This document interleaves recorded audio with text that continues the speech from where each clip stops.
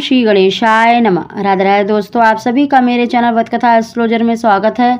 दोस्तों, आज की वीडियो में हम आपको जानकारी देने वाले हैं कि जिन गर्भवती महिलाओं ने बेबी बॉय को कंसीव करा होता है, उनमें ये लक्षण ज़रूर दिखाई देते हैं। अगर ये लक्षण आप में है तो आप काफ़ी हद तक अनुमान लगा सकते हैं कि आपने एक बेबी बॉय को ही कंसीव करा है।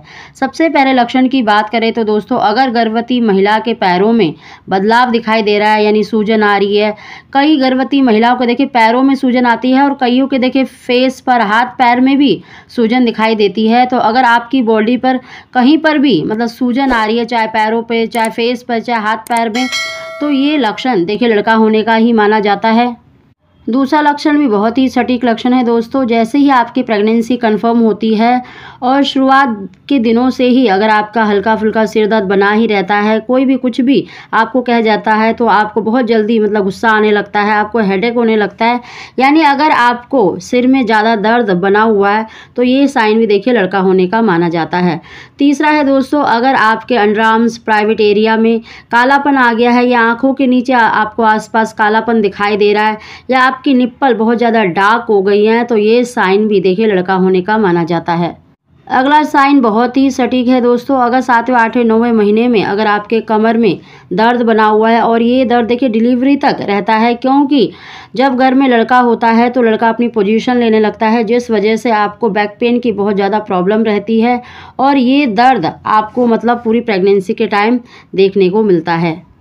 साथ ही दोस्तों, सातवें, आठवें महीने से देखिए, नाभि के नीचे आपके मतलब ज़्यादातर खिंचाव पड़ता है, दर्द महसूस होता है। यानी अपने बच्चे का जो भार है वेट है, आपको नाभि के नीचे महसूस होने लग गया है तो ये साइन देखिए, लड़का होने का ही माना जाता है।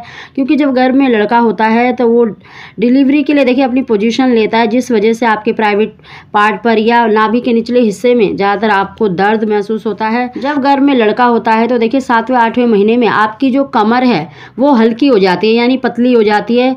जैसे छठे, सातवें महीने में अगर आपकी कमर भारी है, लेकिन सातवें, आठवें, नौवें महीने में आप देखेंगे कि आपकी कमर मतलब पतली हो रही है, जो बच्चे का वेट है, वो नीचे की तरफ़ आता जा रहा है और आपकी कमर वहाँ पर आपको हल्कापन लगता है, यानी खाली खाली सा लगता है। जैसे पहले भारी लगती थी तो वहाँ पर आपको खाली खालीपन महसूस होता है। और ये साइन देखिए, लड़का होने का ही माना जाता है। मेरी प्रेगनेंसी के टाइम पर मैंने मतलब हंड्रेड ये जो मैंने लक्षण बताए हैं, दर्द का और नीचे की तरफ़ बच्चे का भार होना तो ये साइन हंड्रेड परसेंट लड़का होने का ही होता है। लड़का होने पर, देखिए, पेट के नीचे की तरफ़ तो आपको दर्द बना ही रहता है थोड़ा थोड़ा आपको दर्द होता रहता है। साथ ही आपको यूरिन की भी ज़्यादा दिक्कत होने लगती है, पैरों में ऐठन होना, पैरों में दर्द की शिकायत बनी हुई है तो ये साइन भी देखिए, लड़का होने का ही माना जाता है। तो दोस्तों, इन लक्षणों से आप काफ़ी हद तक अनुमान लगा सकते हैं कि आपने बेबी बॉय को कंसीव करा है। दोस्तों, वीडियो पसंद आई हो तो इसको लाइक करें और हमारे चैनल को सब्सक्राइब करना ना भूलें। आप सभी को ओम श्री गणेशाय नमः।